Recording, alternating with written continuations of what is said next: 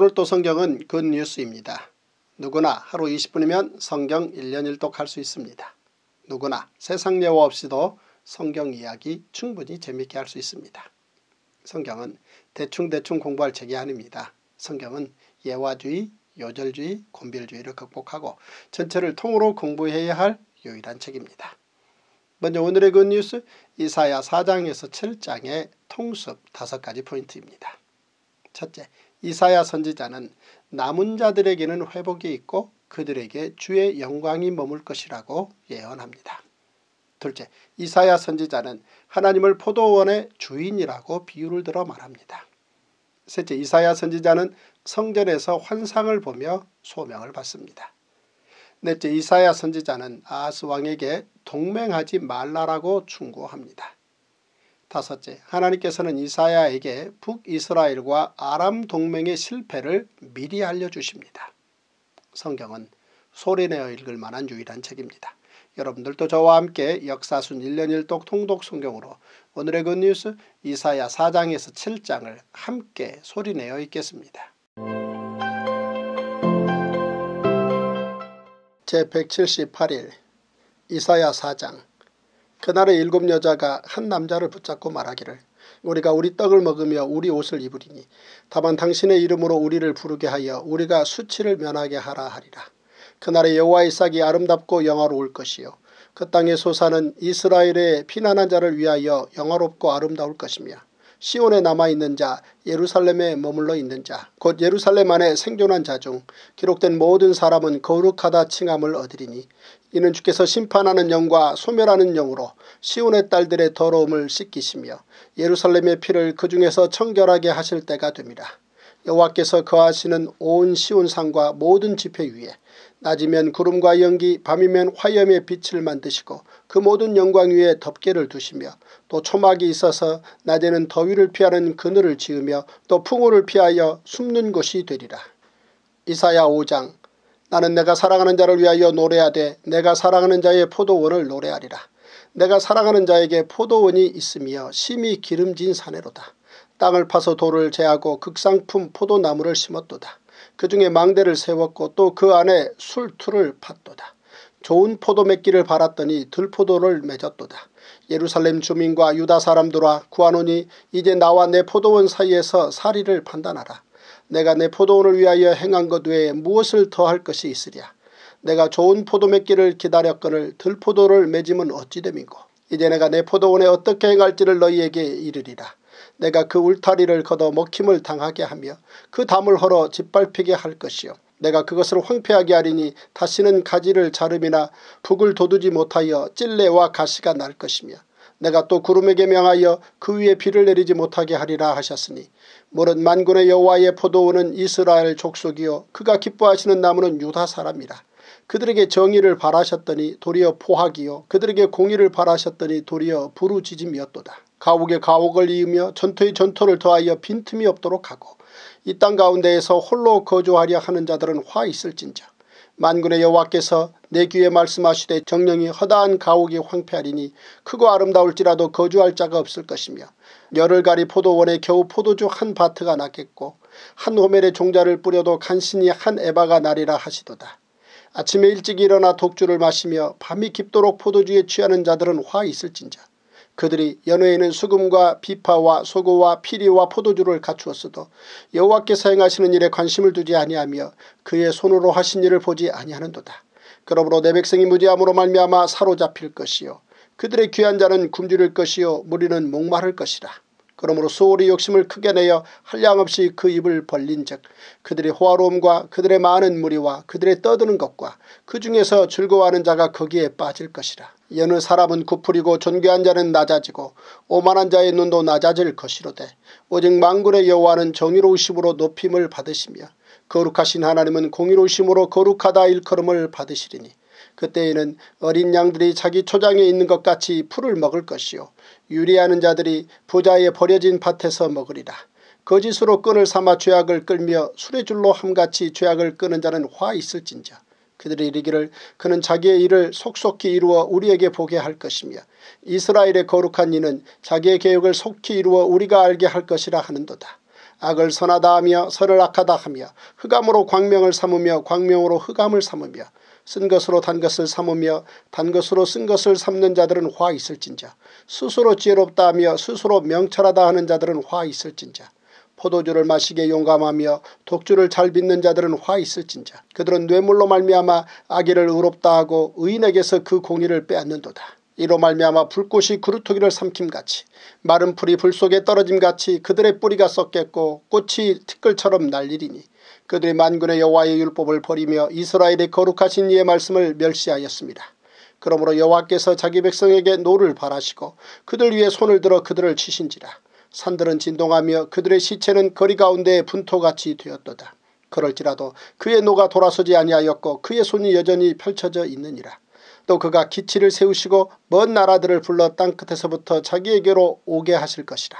보라 그들이 빨리 달려올 것이로되 그 중에 곰핍하여 넘어지는 자도 없을 것이며 조는 자나 자는 자도 없을 것이며 그들의 허리띠는 풀리지 아니하며 그들의 들매끈은 끊어지지 아니하며 그들의 화살은 날카롭고 모든 활은 당겨졌으며 그들의 말굽은 부싯돌 같고 병거 박히는 회오리 바람 같을 것이며 그들의 부르짖음은 암사자 같을 것이요 그들의 소리지름은 어린 사자들과 같을 것이라. 그들이 부르짖으며 먹이를 움켜 가져가 버려도 건질 자가 없으리로다. 그날에 그들이 바다물결 소리같이 백성을 향하여 부르짖으리니 사람이 그 땅을 바라보면 흑암과 고난이 있고 빛은 구름에 가려서 어두우리라. 이사야 6장 우시아 왕이 죽던 해에 내가 본즉 주께서 높이 들린 보좌에 앉으셨는데 그의 옷자락은 성전에 가득하였고 스랍들이 모시고 섰는데 각기 여섯 날개가 있어 그 둘로는 자기의 얼굴을 가리었고 그 둘로는 자기의 발을 가리었고 그 둘로는 날며 서로 불러 이르되 거룩하다 거룩하다 거룩하다 만군의 여호와여 그의 영광이 온 땅에 충만하도다 하더라. 이같이 화답하는 자의 소리로 말미암아 문지방의 터가 요동하며 성전의 연기가 충만한지라. 그때 내가 말하되 화로다 나여 망하게 되었도다. 나는 입술이 부정한 사람이요 나는 입술이 부정한 백성 중에 거주하면서 만군의 여호와이신 왕을 배웠음이로다 하였더라. 그때 그 서랍 중에 하나가 부젓가락으로 재단에서 집은 바 핀 숯을 손에 가지고 내게로 날아와서 그것을 내 입술에 대며 이르되 보라 이것이 내 입에 닿았으니 내 악이 제하여졌고 내 죄가 사하여졌느니라 하더라. 내가 또 주의 목소리를 들으니 주께서 이르시되 내가 누구를 보내며 누가 우리를 위하여 갈고 하시니 그때 내가 이르되 내가 여기 있나이다 나를 보내소서 하였더니 여호와께서 이르시되 가서 이 백성에게 이르기를 너희가 듣기는 들어도 깨닫지 못할 것이요 보기는 보아도 알지 못하리라 하여 이 백성의 마음을 둔하게 하며 그들의 귀가 막히고 그들의 눈이 감기게 하라. 염려하건대 그들이 눈으로 보고 귀로 듣고 마음으로 깨닫고 다시 돌아와 고침을 받을까 하노라 하시기로 내가 이르되 주여 어느 때까지니까 하였더니 주께서 대답하시되 성읍들은 황폐하여 주민이 없으며 가옥들에는 사람이 없고 이 토지는 황폐하게 되며 여호와께서 사람들을 멀리 옮기셔서 이 땅 가운데 황폐한 곳이 많을 때까지니라.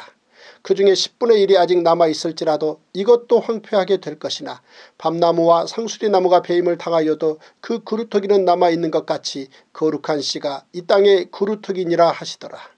이사야 7장 오시아의 손자여 요담의 아들인 유다의 아하스 왕 때에 아람의 르신 왕과 르말리아의 아들 이스라엘의 베가 왕이 올라와서 예루살렘을 쳤으나 능히 이기지 못하니라. 어떤 사람이 다윗의 집에 알려 이르되 아람이 에브라임과 동맹하였다 하였으므로 왕의 마음과 그의 백성의 마음이 숲이 바람에 흔들림같이 흔들렸더라. 그때 여호와께서 이사야에게 이르시되 너와 내 아들 수알 야숲은 윗못 수도끝 세탁자의 밭 큰 길에 나가서 아스를 만나 그에게 이르기를 너는 삼가며 조용하라. 르신과 아람과 르말리아의 아들이 심히 노할지라도 이들은 연기나는 두 부직갱이 그루터기에 불과하니 두려워하지 말며 낙심하지 말라. 아람과 에브라임과 르말리아의 아들이 악한 꾀로 너를 대적하여 이르기를 우리가 올라가 유다를 쳐서 그것을 쓰러뜨리고 우리를 위하여 그것을 무너뜨리고 다부엘의 아들을 그 중에 세워 왕으로 삼자 하였으나 주 여호와의 말씀이 그 일은 서지 못하며 이루어지지 못하리라. 대저 아람의 머리는 다메섹이요 다메섹의 머리는 르신이며 65년 내에 에브라임이 패망하여 다시는 나라를 이루지 못할 것이며 에브라임의 머리는 사마리아요 사마리아의 머리는 느말리아의 아들이니라. 만일 너희가 굳게 믿지 아니하면 너희는 굳게 서지 못하리라 하시니라. 여호와께서 또 아스에게 말씀하여 이르시되 너는 내 하나님 여호와께 한 징조를 구하되 깊은 데에서든지 높은 데에서든지 구하라 하시니 아스가 이르되 나는 구하지 아니하겠나이다. 나는 여호와를 시험하지 아니하겠나이다 한지라. 이사야가 이르되 다윗의 집이여 원하건대 들을지어다. 너희가 사람을 괴롭히고서 그것을 작은 일로 여겨 또 나의 하나님을 괴롭히려 하느냐. 그러므로 주께서 친히 징조를 너희에게 주실 것이라. 보라 처녀가 잉태하여 아들을 낳을 것이요 그의 이름을 임마누엘이라 하리라. 그가 악을 버리며 선을 택할 줄 알 때가 되면 엉긴 적과 꿀을 먹을 것이라. 대저 이 아이가 악을 버리며 선을 택할 줄 알기 전에 내가 미워하는 두 왕의 땅이 황폐하게 되리라. 여호와께서 에브라임이 유다를 떠날 때부터 당하여 보지 못한 나를 너와 내 백성과 내 아버지 집에 임하게 하시리니 곧 아수르 왕이 오는 날이니라. 그날에는 여호와께서 애굽 하수에서 먼 곳에 파리와 아수르 땅의 벌을 부르시리니 다 와서 거친 골짜기와 바위 틈과 가시나무 울타리와 모든 초장에 앉으리라. 그날에는 주께서 하수 저쪽에서 세례해온 삭도 곧 아수르 왕으로 내 백성의 머리털과 팔털을 미실 것이요 수염도 깎으시리라. 그날에는 사람이 한 어린 암소와 두 양을 기르리니 그것들이 내는 젖이 많으므로 엉긴 젖을 먹을 것이라. 그 땅 가운데 남아있는 자는 엉긴 젖과 꿀을 먹으리라. 그날에는 천그루의 은천개의 가치가 있는 포도나무가 있던 곳마다 찔레와 가시가 날 것이라. 온 땅에 찔레와 가시가 있으므로 화살과 활을 가지고 그리로 갈 것이요 보습으로 갈던 모든 산에도 찔레와 가시 때문에 두려워서 그리로 가지 못할 것이요 그 땅은 소를 풀어놓으며 양이 밟는 것이 되리라. 오늘 우리는 이사야 4장에서 7장을 함께 읽었습니다. 아수르가 서서히 제국주의를 시작하자 남유다 주변의 국제정세는 큰 혼돈에 빠집니다. 이때 아람과 북이스라엘이 먼저 반아수르 동맹을 하면서 남유다의 동참을 요구했지만 남유다는 거절합니다. 이로 인해 아람과 북이스라엘의 침략을 두려워했던 남유다의 아하스 왕은 오히려 아수르에 조공을 보내고 굴욕 편지까지 써 보내면서 친아수르 정책을 펼칩니다. 이때 이사야 선지자가 아하스 왕에게 동맹하지 말라라고 말합니다. 친아수르도 반아수르도 친애굽도 반애굽도 하지 말라고 말합니다. 그 이유는 첫째 북이스라엘은 아수르에 의해 멸망할 것이기 때문입니다. 둘째 아수르 출병 명분을 제공하지 말라는 것입니다. 셋째 아수르 출병은 남유다에게 막대한 경제적 손해를 입힐 것이기 때문입니다. 넷째 형제의 멸망을 도와서는 안 된다는 것입니다. 다섯째 이방 종교가 유입될 것이기 때문입니다. 아스 왕은 이사야 선지자를 통해 북이스라엘의 멸망 예언까지 듣고도 하나님의 말씀을 믿지 않습니다. 그래서 이사야는 아스에게 하나님의 말씀을 믿을 징조를 구하라고 말하지만 이 또한 거부합니다. 이때 하나님께서는 이사야 선지자를 통해 친히 징조를 주실 것이라며 메시아 탄생을 예언하게 하십니다. 모든 성경은 하나님의 감동으로 된 것으로 교훈과 책망과 바르게 함과 의로 교육하기에 유익합니다. 성경 한 권이면 충분합니다. 그러므로 오늘도 세상 뉴스를 넘어 good news 성경으로 행복하시고 good news 성경으로 승리하시는 멋진 하루 되십시오. Wow!